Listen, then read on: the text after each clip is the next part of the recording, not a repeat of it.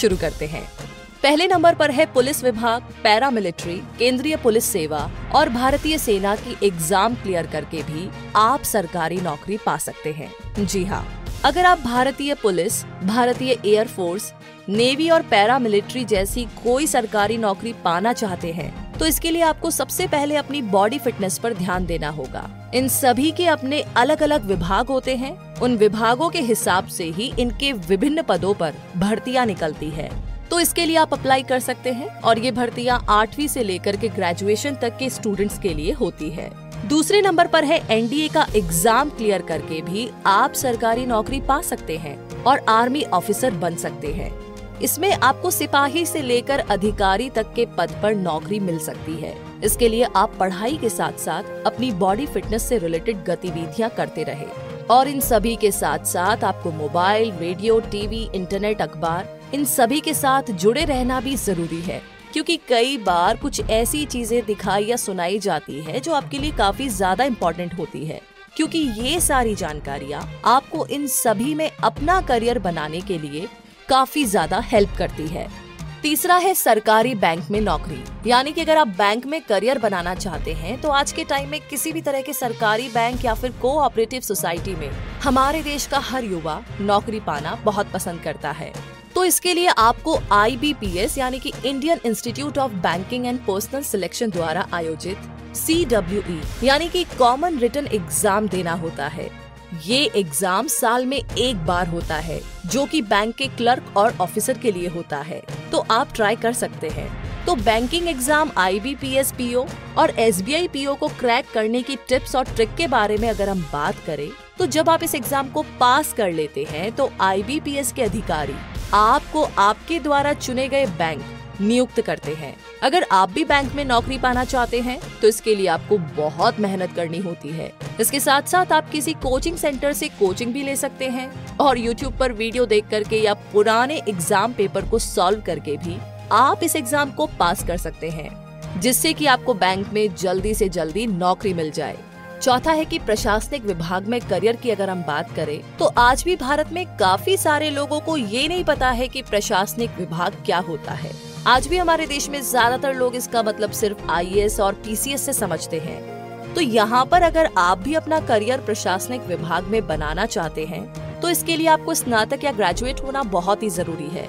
उसके बाद में ही आप अपना करियर प्रशासन विभाग में बना सकते हैं, जिसके बाद आपको यूपीएससी पीएससी द्वारा संचालित सीएससी देना होगा। इस तरह की एग्ज़ाम देने के बाद आप कलेक्टर, कमिश्नर आदि बन सकते हैं। इसके लिए आपको काफ़ी ज़्यादा मेहनत करने की ज़रूरत होती है।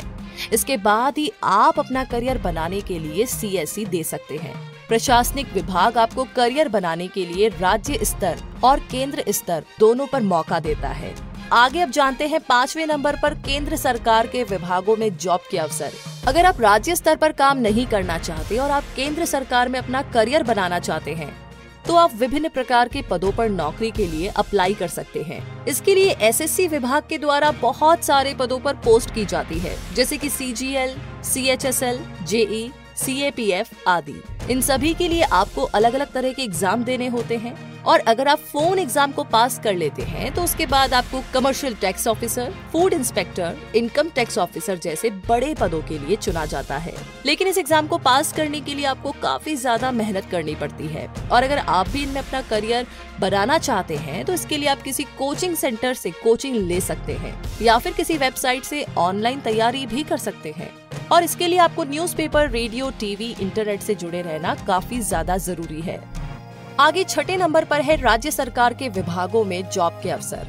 अगर आप राज्य स्तर पर नौकरी करना चाहते हैं तो इसके लिए यूपीएससी विभाग समय समय पर विभिन्न पदों की भर्तियाँ निकालता है। जैसे कि लिपिक कनिष्ठ लिपिक लेखपाल पटवारी अमीन आशु लिपिक आदि। तो ये सभी यूपीएससी के द्वारा करवाए जाते हैं और अगर आप भी एग्ज़ाम पास कर लेते हैं तो आपको इन सभी पदों पर नियुक्त किया जाता है। इन सारी जानकारियों के लिए विभाग से जुड़ी वेबसाइट पर आप जा सकते हैं, सारी जानकारियाँ ले सकते हैं और जब भी फॉर्म निकले तो आप इन फॉर्म्स को अप्लाई कर सकते हैं। आगे सातवें नंबर पर है भारतीय रेलवे में करियर। जी हाँ अगर आप रेलवे विभाग में नौकरी करना चाहते हैं तो इसके लिए रेलवे विभाग समय समय पर बहुत सारे पदों पर नियुक्ति करता रहता है।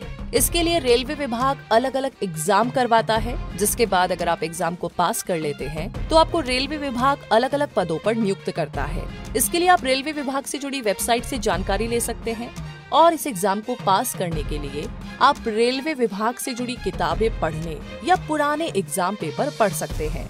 इस तरह के बहुत से विभाग है जो कि टाइम टाइम पर बहुत सी भर्तियाँ निकालते रहते हैं। और आपको उन भर्तियों के फॉर्म अप्लाई करते रहना चाहिए। और उन भर्तियों से संबंधित विज्ञापन, जानकारी इंटरनेट टीवी रेडियो न्यूज़पेपर इन सभी में आप पढ़ते रहे, ताकि आपको एग्ज़ाम में उन सभी जानकारियों की सहायता मिले। तो इस तरीके के एग्ज़ाम की तैयारी करने के लिए आप अपना एक समय बना करके टाइम के अकॉर्डिंग पढ़ाई करें और पुराने एग्ज़ाम पेपर्स को देखते रहे। या किसी ऐसे आदमी से एग्ज़ाम के बारे में आप जानकारी ले जिसने पहले ये एग्ज़ाम पास किया है। और आप अपनी ये सारी तैयारी शांत माहौल में करें जहाँ पर शोर शराबा ना हो। इसके लिए आप किसी कोचिंग सेंटर से कोचिंग भी ले सकते हैं और जो भी आपको पढ़ाया जाता है उसे आप बार बार लिख करके देखें। और आप जिस किसी विषय में कमज़ोर है उसको ज़्यादा टाइम दें और सारे सब्जेक्ट को आप एक पैटर्न बनाकर पढ़ें। और अगर आप ऐसा करते हैं तो निश्चित ही आप एग्ज़ाम को पास कर लेंगे।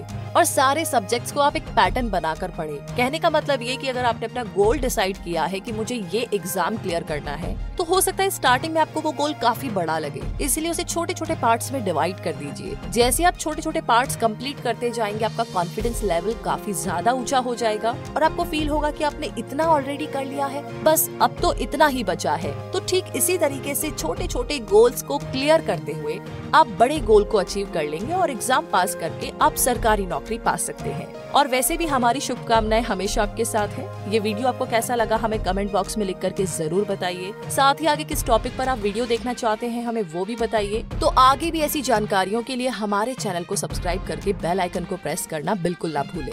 धन्यवाद।